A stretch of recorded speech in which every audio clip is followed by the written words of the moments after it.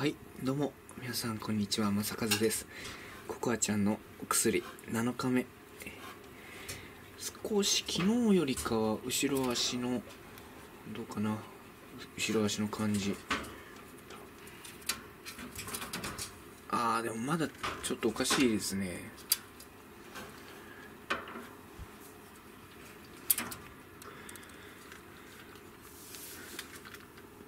そうだな。明日はねリハビリしてる様子も少し動画に収めてみようかな。お薬飲んだ後に。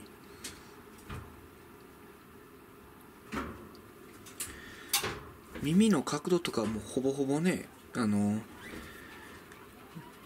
発症する前と変わらないぐらいにはねなってきたんですけど。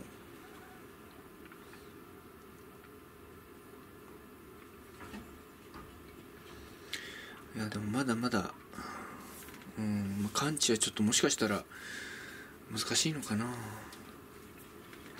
エンスファリトゾーンの数値そうでもなかったからもしかしたらねなんか他の病気もあるのか。検査の結果はね、まあ、それぐらいしか指摘がされなかったから、まあ、様子を見る感じなんですけど。いや早いね。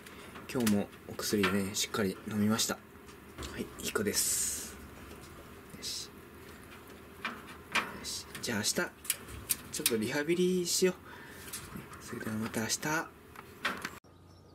最後までご視聴ありがとうございました。良ければチャンネル登録高評価よろしくお願いします。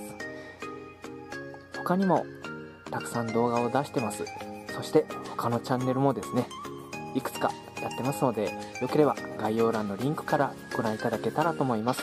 こちらにね画面に出ている動画もチャンネルもおすすめですのでぜひチェックしてみてください。それではまた次の動画でお会いしましょう。バイバーイ。